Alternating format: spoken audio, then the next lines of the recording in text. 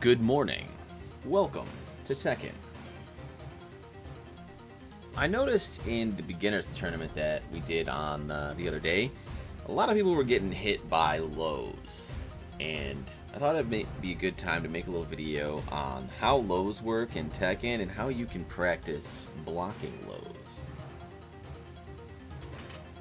So, I thought I'd start out with one of the most infamous characters and lows in Tekken, good old Bryan Downford 3, aka Snake Edge. Now, you've probably blocked this before. Uh, 29 frames, which is pretty slow. At zip range, it's actually 30 frames.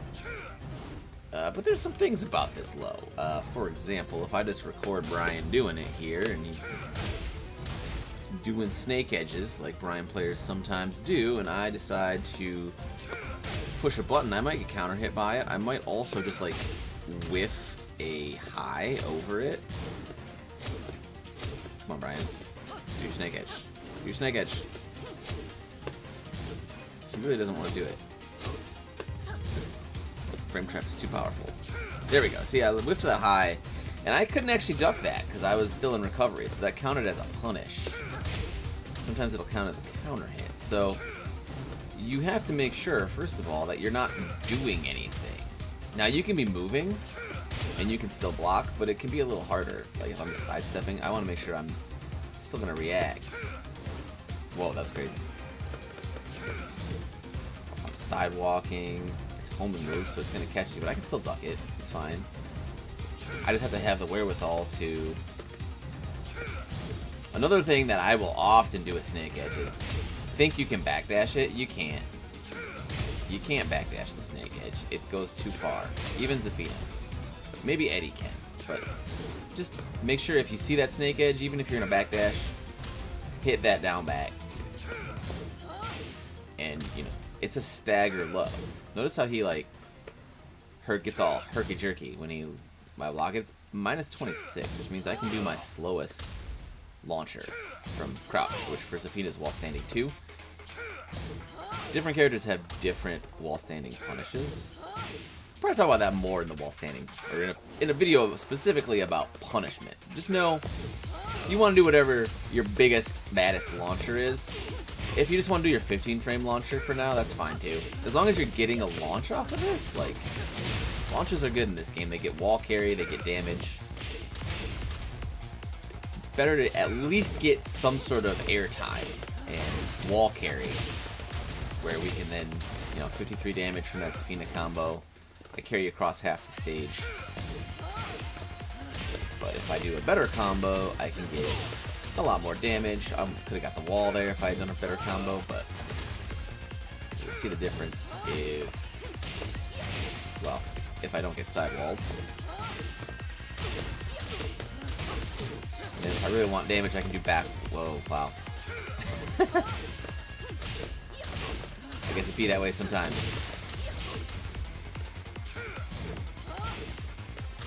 Should have practiced Zafina combos. What was I thinking?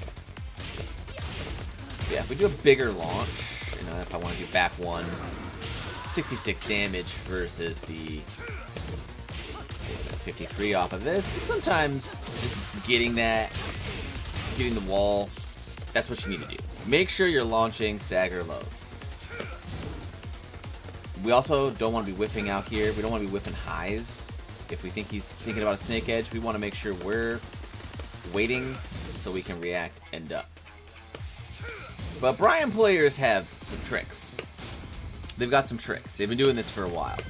One thing Bryan players will like to do is like duck and then do an orbital, hoping that you will like react to the duck and then eat that orbital even if you do, uh, you can just stand back up if you see that Bryan's ducking and block that orbital. He doesn't really have any lows out of full crouch that you're scared of.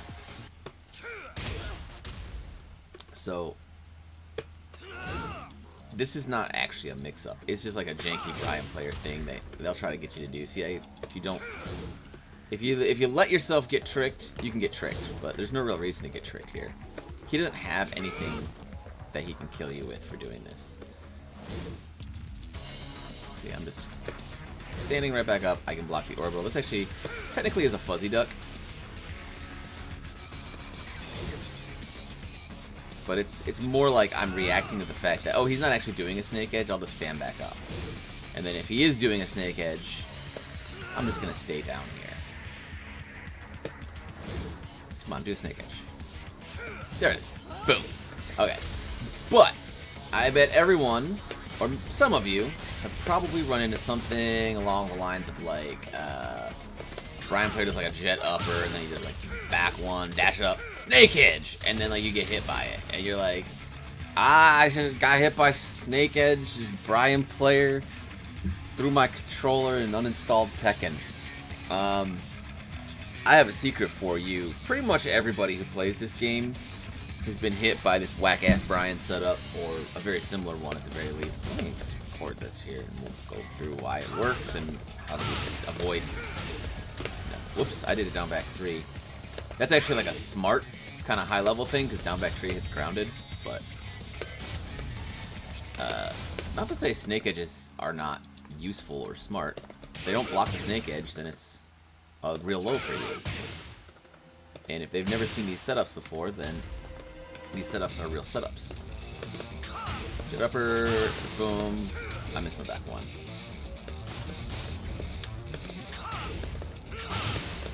Back one. Snake Edge. Boom. Okay. So, why does this work? I gotta get jet upper still. I'm walk into this jet upper. Huzzah! Okay. It works because, like, we're tech rolling, we're thinking about other things. We're not, like, realizing that we can actually just react to this and duck. You can still duck while you're standing up. You don't have to, like, wait till you stand all the way up. Oh, keep screwing this up. Hold for There you go. So what most people do is we're like mashing tech roll, and then we're like, oh, I gotta stand up, and then we don't duck. I held down backs out of instinct there, but it's very easy to just like hold back in these situations because this this back one is gonna spike. I can't tech roll, so oh, I'm gonna hold back. Oh no! But even if I hold back, I have like all the time to still react to that snake edge. It's just like a little sneaky, like, make you think that you can't block it in time, but you can. It's not a tech trap or anything along those lines. We could also just stay on the ground against characters who have better versions of this kind of thing. But Snake Edge doesn't do that much to me when I'm on the ground, then I can just stand back up. So, always is an option if someone does do some sort of whack spike setup on you just let them hit you on the ground and then stand back up. And then look at how much space I have now. Like, I can't, I'm not getting comboed over here. But in the case of Snake Edge, um, you don't really ever have to worry about it. If you're thinking about the fact that he could do a Snake Edge and you're not mashing buttons. That's the other thing, if I mash buttons, uh-oh. So, like most things in Tekken, it's more about patience and muscle memory than it is about your hard reactions. Hard reactions don't start to come into play until you get into like more like high level stuff, like semi-seeable lows. But we're not going to really deal with that stuff today. Um, but there are lows that are like faster than Snake Edge that aren't necessarily uh, that hard to block. So let's take a look at some of those. I think Jin has some lows that people were getting hit by.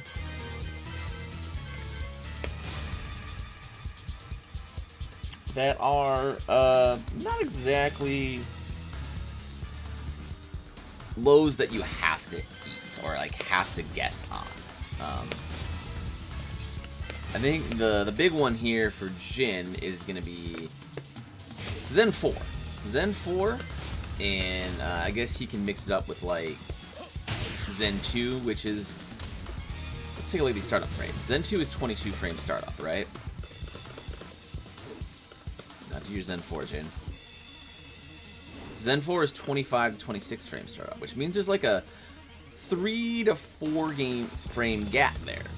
That might not sound like much, but actually, uh, it, it matters because since these are not hitting on the same frame, I can duck fairly late in the animation. And, whoops, I stood back up. I don't really have to worry too much about getting hit by this punch. See, I, I was holding down back there, but I still blocked the punch. I was a little late that time.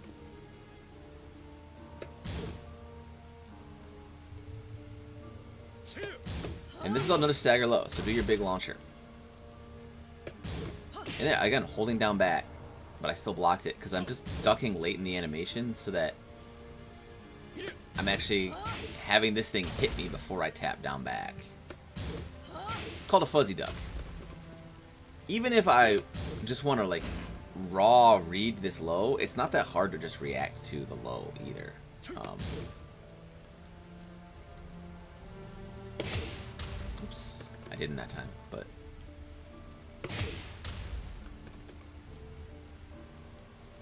Yeah, see, I can just react to the low. It's not that bad. But if you just keep in mind that this punch is that much quicker than that low, you just duck super late in his startup frames.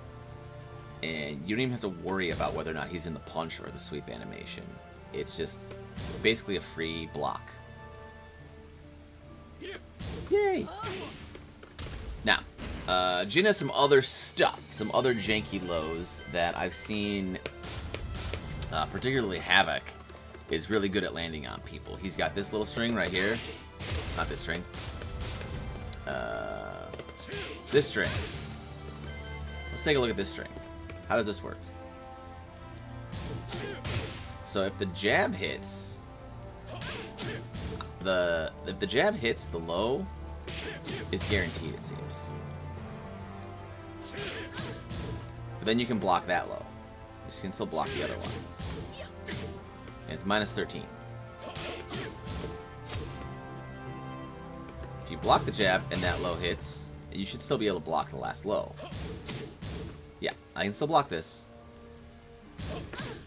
And there's not a mix-up here either. He only has a low option, so it's just is he going to do the low or not. If he blocks the jab, we can low parry the first low.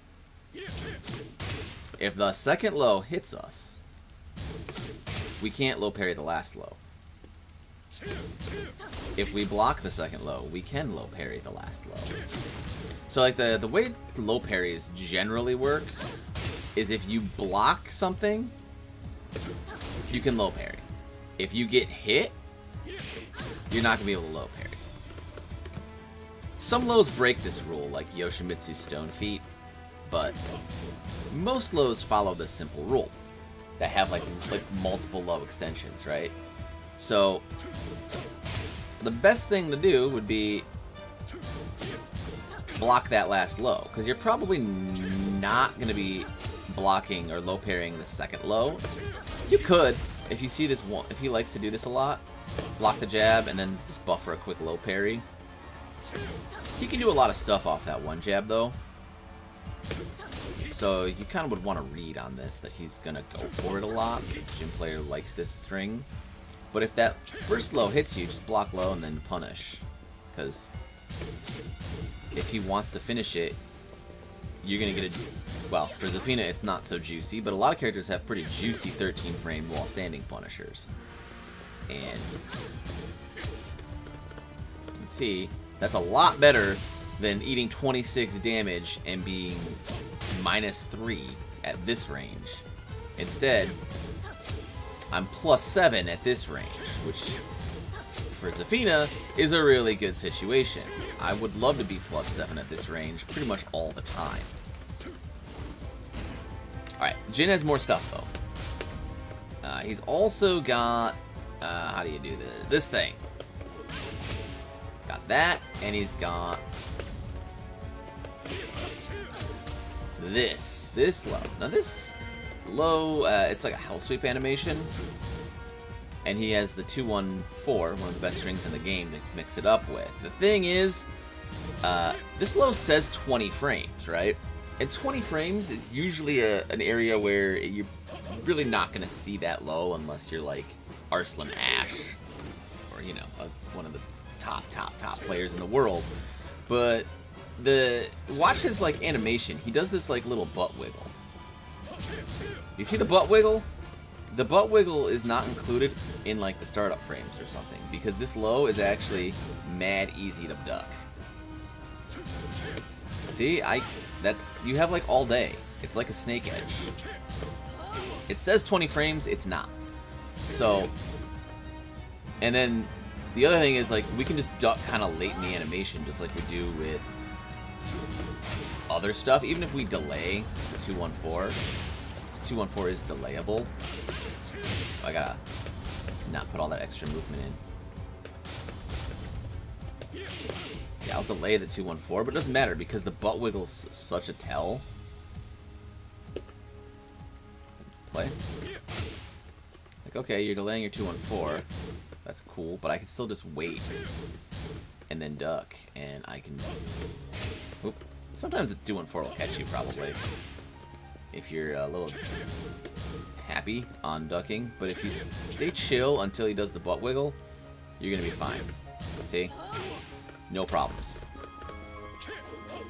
Now, uh, some better options for Jin, for all you Jin players out there, uh, instead of doing like 4-4 into Zen Sweep or doing this um, butt wiggle hell sweep, uh, you could do mix up 2-1-4 and 2-1 down back 4 or 2-1 down 4.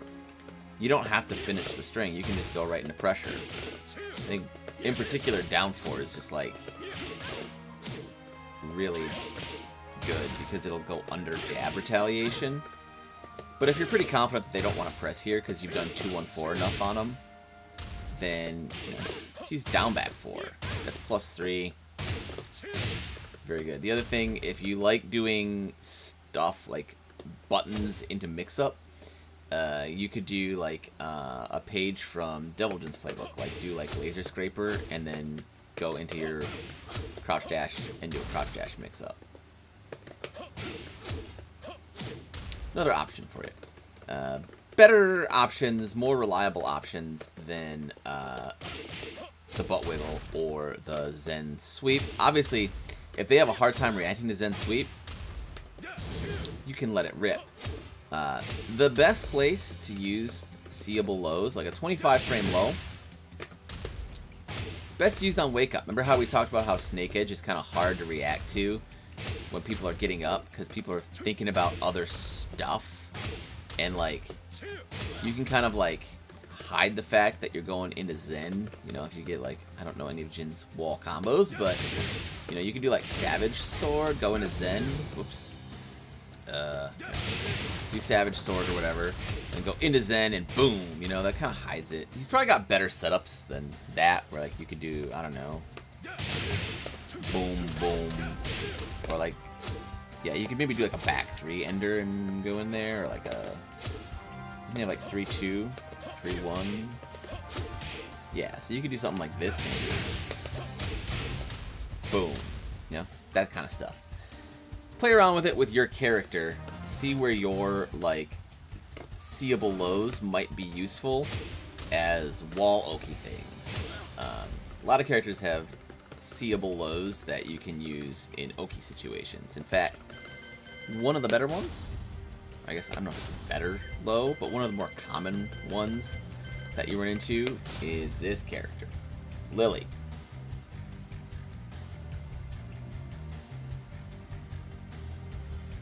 Lili, of course, has a snake edge, just like Bryan, which is, uh, you know, that's not the input. This is the input. You know, 30 frames. It looks like a snake edge. Uh, but she also has this low, which is 24 frames. And she has, you know, stuff from down back as well. Uh, that low is actually real.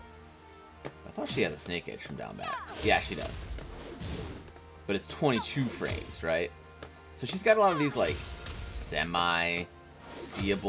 Well, not semi-seeable, but, like, seeable, but not snake edge type lows. And Lili players, or people who use other characters that have this stuff, Lars is a good example, they'll use this as a mix-up. So this is actually a little trickier to deal with. Like if I do this with Lili, that's 24 frames. And if I record, uh, say, this... Whoop, I didn't mean to sidestep. These are both 24 frames, which and they have the same audio cue, which is like insult to injury, right? So I have to actually react to the down back 4, or down back 3 plus 4 in this case. And I was a little late there. So these are the type of things where you just have to sit in training mode and practice reacting to this low until you're more comfortable seeing it. There's not like a shortcut. You can see I don't actually uh, have that much muscle memory on this particular low. I need to practice this more.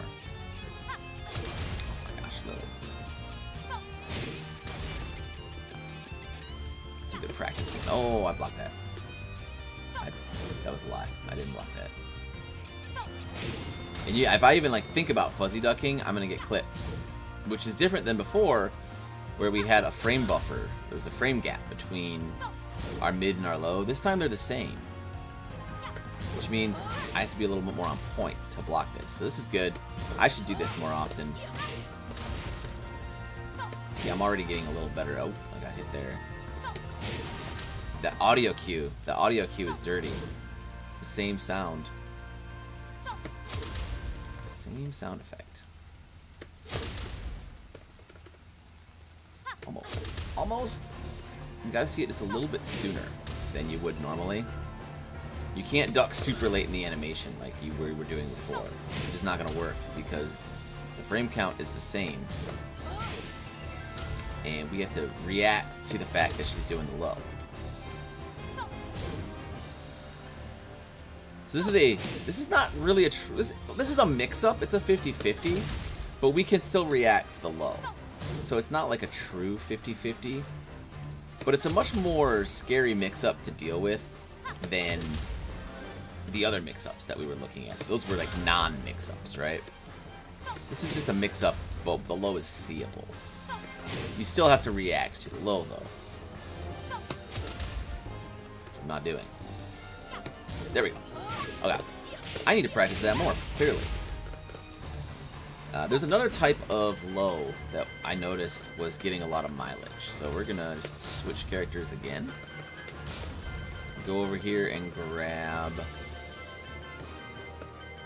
Uh, oh, I'm in DLC already. I don't know how I got there. Oh, I... There we go.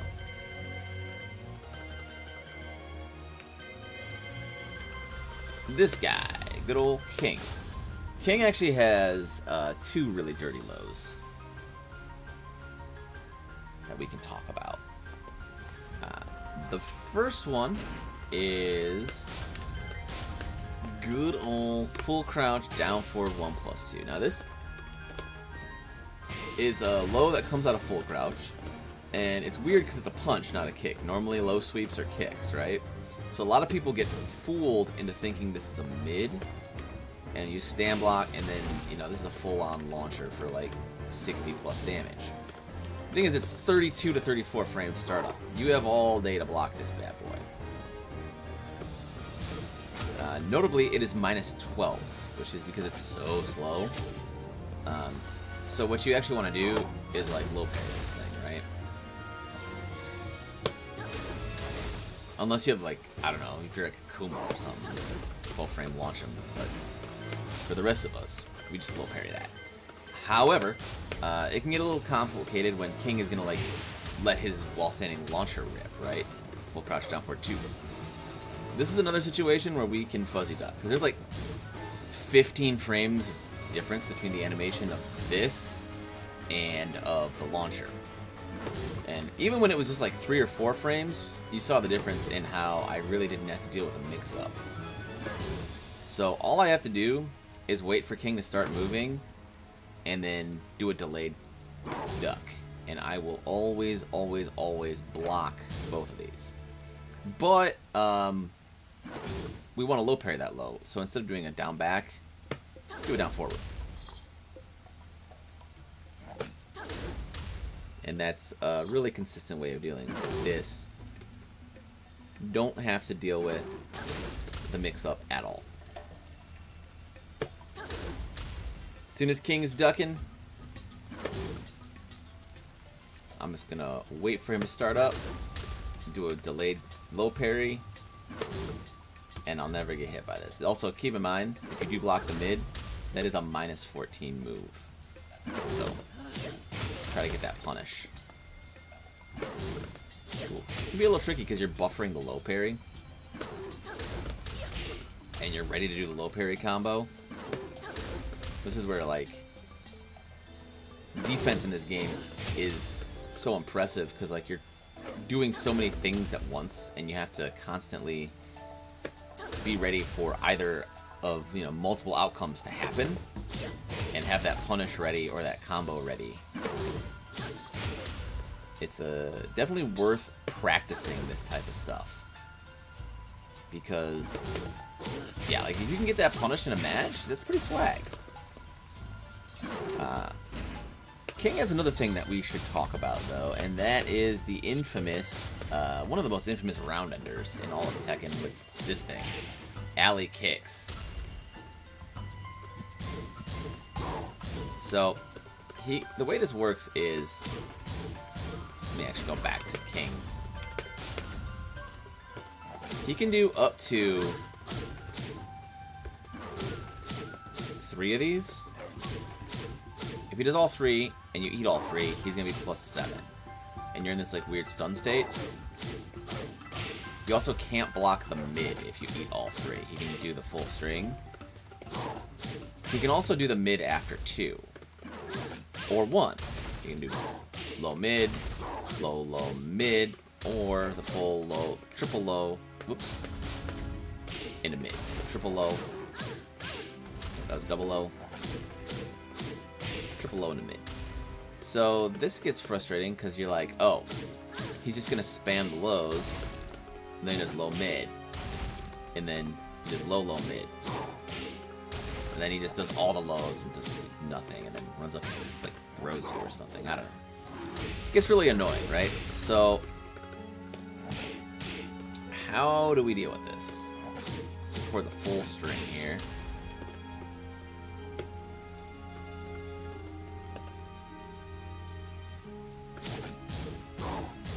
Uh, what I do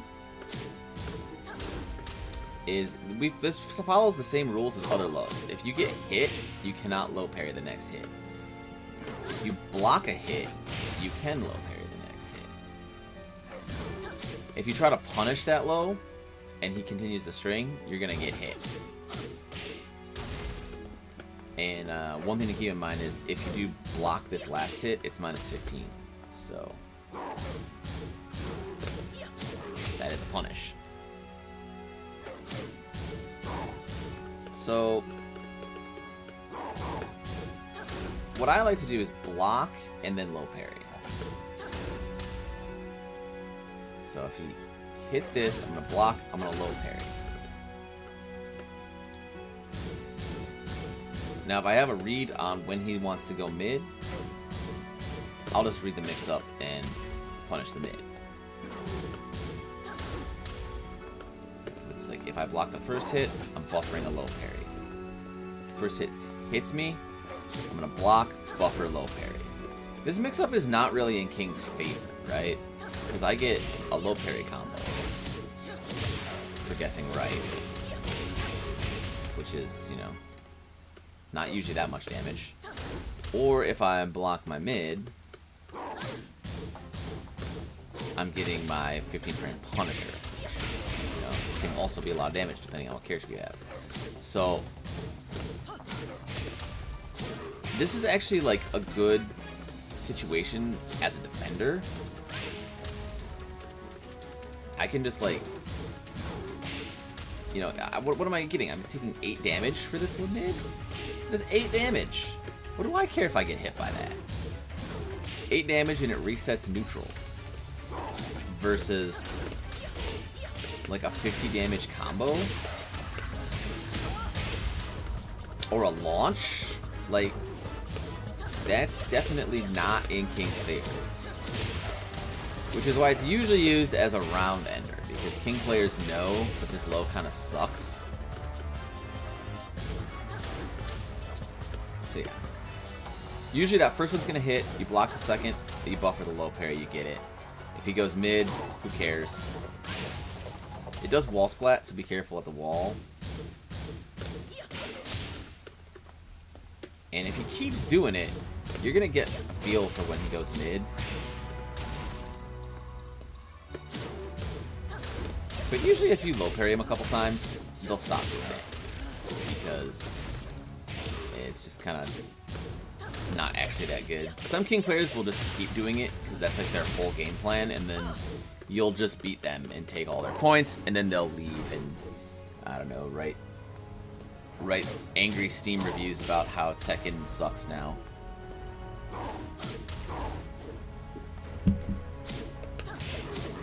Alright, one more thing I want to talk about is sometimes people, like, get salty over getting hit by stuff that's, like, real. Um, like Shaheen is probably a good example of this. Um, you know, characters like Mishima's with crouch dash mix up, uh, slide characters with slide mix up, any character with a unseeable sweep, like those are like actual mix-ups that these characters can create. So, you know, if you're gonna get hit by this low, then like yeah, you can react to the fact that Shaheen is crouching and inputting the little dash input, but Shaheen can do this, right? Shaheen doesn't have to do the low. He can go. This is what Shaheen players do. So now you're in a situation where, okay, I can react to this low. Oh my god, I got hit by this mid. This game is trash. I'm gonna throw my controller and uninstall Tekken.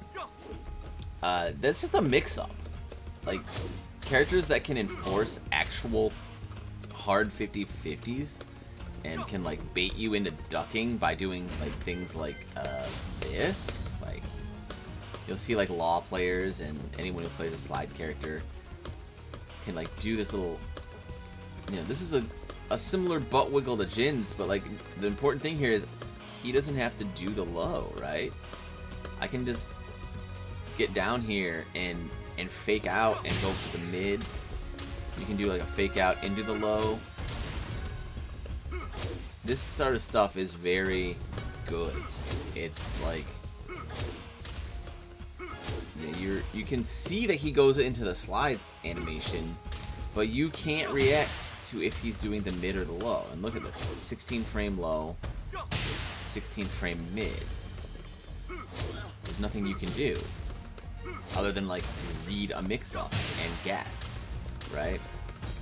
That's why slide characters are usually like, I don't think any of them are considered like weak. They're all pretty good. They're all considered, I think Shaheen won a lot of tournaments early in the game's life.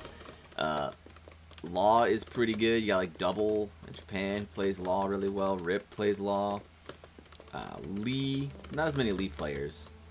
Um, fighting GM comes to mind as like a really good Lee player who's had great results. This stuff is real. You can't do anything to game this mix-up or react to this mix-up. You just have to guess. Same thing with Mishima Crouch Dash. Uh, same thing with like Leroy or Fahkumram Hell Sweeps. Even at the highest level, those are real mix-ups. So hopefully this video was a little helpful on what you can do uh, to block lows, practice against defending lows, and better ways to apply lows. Uh, if anyone has any questions, feel free. You can leave questions in the comments, or if you're in the Michigan Tekken Discord, always can post your questions in there in the beginner resources channel.